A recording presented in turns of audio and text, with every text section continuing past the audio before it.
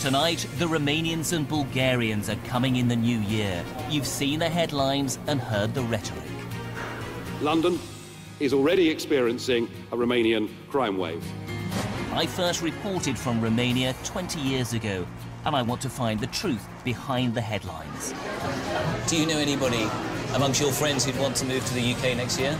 No, I have no. Some British companies are keen to persuade more Romanians to come.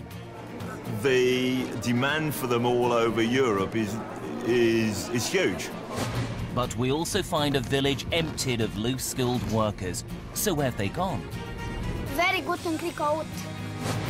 We have exclusive access with British police on a mission from North London to Transylvania. Some people uh, uh, uh, have stigmatised various communities and said that they're coming to the UK bent on criminality. Back home, a British town which fears it faces more pressure on its schools and hospitals. Is it particularly Romanians that worry? Honestly speaking, yes. And the government tells Panorama it's making landmark changes. We'll actually be able to stop them coming back if they're coming back here to carry on rough sleeping or begging. Images like these have angered the nation. But with just days to go until Romania and Bulgaria get full working rights in the UK, should we really be worried?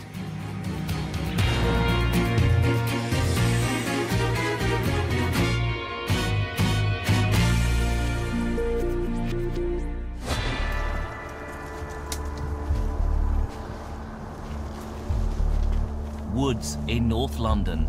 We're with the police looking for a camp of homeless Romanians.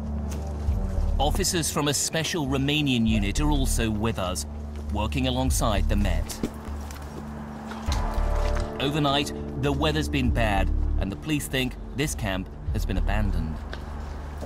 You can see they've really tried to make it home. They've got bags in here, hanging up. They've got mirrors, old mattresses, but really there's a there's an overwhelming smell of urine and feces. Right, good morning everybody. Uh, thanks for getting up at uh, four o'clock in the morning. Earlier, we'd had a briefing. The Romanian police arrived in the autumn as part of an intelligence sharing process with their British counterparts. What's the problem? Since 2012, we've had large groups of Romanians who've been sleeping rough, engaging in work on the black market and some antisocial behaviour. The camp's quiet. But then, we find two Romanians, a young couple, in a freezing tent. Can I just ask you, how long have you been here? Two, two weeks. Two weeks. The camp's been reported to the police by the landowner. If they don't raid it, they think it'll fill up again, fast. More rough sleepers, more antisocial behaviour. It's not really fair on the Romanians to be living like this, so we're going to take them to uh, Ashford Place, which is a homeless organisation, to see if we can get cleaned up, a bit of food, and uh, see if we can offer them some help. These two already have the right to be in the UK. Romania and Bulgaria joined Europe seven years ago. But until now, to work here, you needed to have specialist skills, like doctors and nurses, or be self-employed, or be a seasonal agricultural worker. But from January the 1st, everyone will be allowed to join the jobs market. Do you really think that living in these conditions that you're in at the moment, that's preferable to being in Romania? nu sunt. Acasă ceva, nu știu, e altfel ca aici. Acasă avem casă și nu e normal ca oamenii, ca tot. But average salaries in Romania are about three times lower than in the UK, and in Bulgaria, around four times lower. What kind of work did you think you, you might find? Construcții. Do you have friends who've come here and got work? Da. The police won't take it any further. They tell the couple how to get into the system legally next year and give them a deadline to leave the woods. But there's another side to Romanians here in the UK. This is a reception at the embassy in London. It's full of lawyers, architects, and students.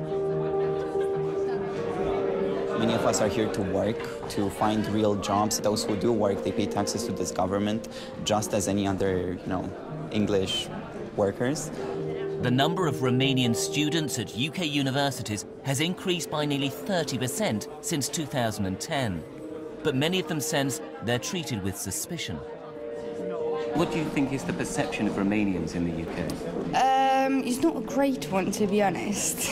Um, but through our individuality and our views, we could tell them and show them the greatness of our country. The first thing I say when I, I, I meet a new person, I, I, just say, okay, this is my background, this is where I come from. You, know, say proudly, I'm Romanian. Yeah, I'm Romanian. So, you know, I, I know people that because of this sort of, sort of negative approach to Romanians lately, they don't want to say that. The negative attitudes have been fueled by images such as these. Romanian Roma around Marble Arch this summer. Police moved them on many times. Some have even been flown home but returned. Then there was this, a camp at Hendon Football Club. It was evicted by police in the summer. As a result, crime in the area dropped.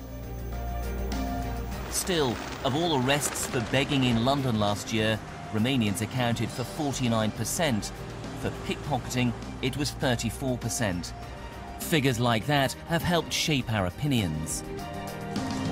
A recent poll suggested 82% of people thought restrictions on the numbers of Romanians and Bulgarians allowed to settle in the UK should continue next year. It's all helped boost the popularity of the UK Independence Party. Let's be frank here. Uh, crime will come if these people come in numbers, and I think that's something that the British people and British society as a whole just don't need. Is that something do you think that's specific to Romanians? Um, I'm not sure it's specific to Romanians, but I think there is a definite link between uh, be between Romania and crime, and that's born out of these uh, statistics. I don't like to draw the distinction of anything as, as such as Romanian crime. Crime is crime, and we will enforce against all of it what drives crime is not just poverty, it's disparity. And Romania is clearly a poor country in comparison to the United Kingdom. And the temptations are uh, available to all migrants from poorer backgrounds from anywhere in the world are greater when they come to what is perceived to be a richer country.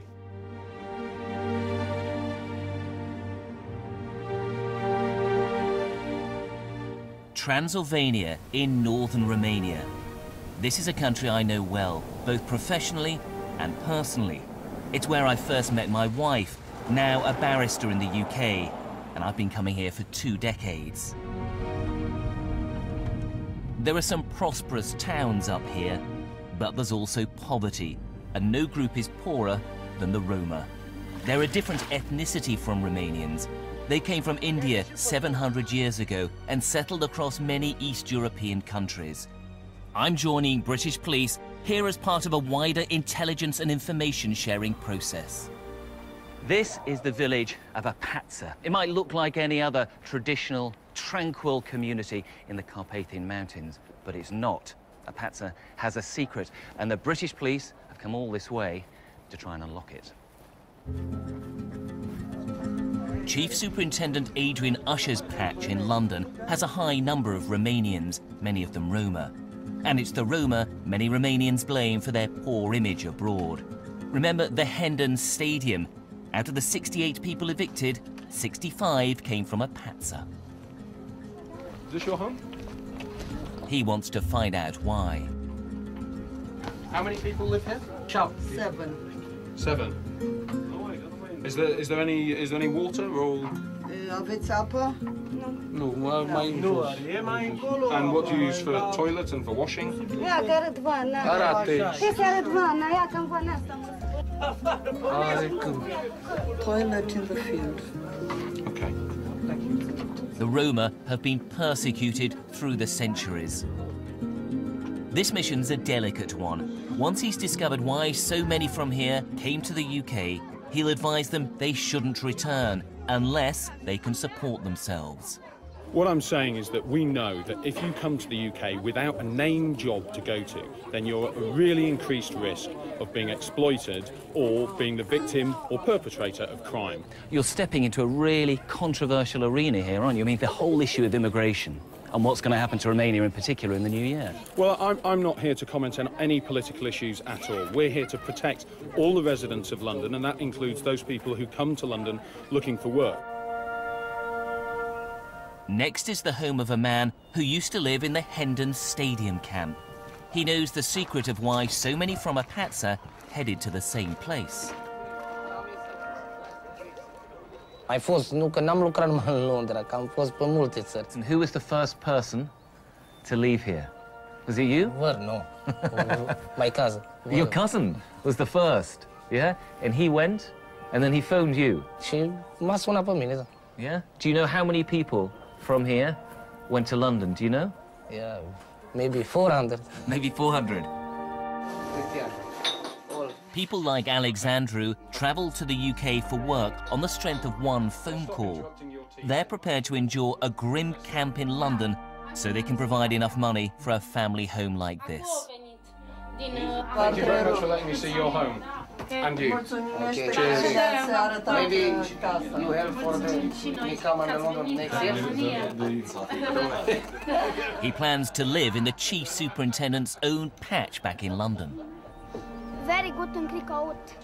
If you want to get an idea of the depth of the connection between here and the UK, one of these little girls just ran over and said, very good in Cricklewood. Uh, Cricklewood, Ah, Cricklewood, yeah? Yeah. You know Cricklewood? Yeah. Very good.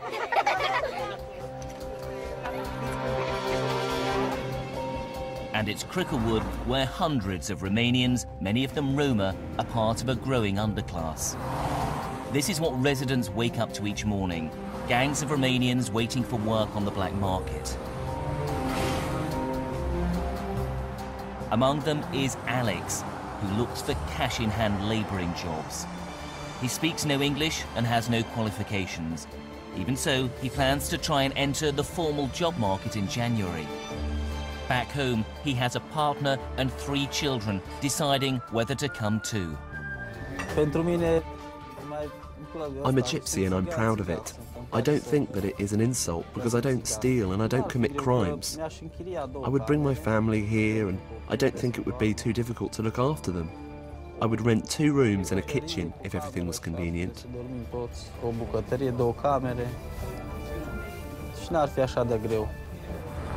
So, how many others have come since Romania and Bulgaria joined the EU in 2007? Official figures say there are currently just over 100,000 Romanians and 57,000 Bulgarians, but those are just estimates. The truth is, we simply don't know. We don't count them in and we don't count them out. No, we don't. And when I Um, spoke to you this time last year, we, we raised the same point 10 months ago, and you said that's going to change soon. Uh, yes, and we're putting in place exit controls. How many Romanians and Bulgarians does the government think are going to come here next year? If you look at the organisations that have made estimates, they vary hugely. So some have made estimates at the low end, some have made very large estimates. Frankly, the range of those estimates, I think, demonstrates that it isn't really a very sensible thing to do. Politicians have got their guesstimates badly wrong before. In 2004, 10 new countries joined Europe. The Poles, with their close ties to the UK, were expected to come, but the Labour government underestimated the number by at least five times. That's given UKIP a stick with which to beat the other parties this time round. The number of people who will come has been completely underestimated. If you look at Migration Watch UK, they're saying it's going to be 50,000 a year. That's what they estimate over the next five years. Uh, what we know, or what we expect, is that large numbers of people will come. His figures are from a think tank concerned about uncontrolled immigration. In 2004, it was about countries joining the EU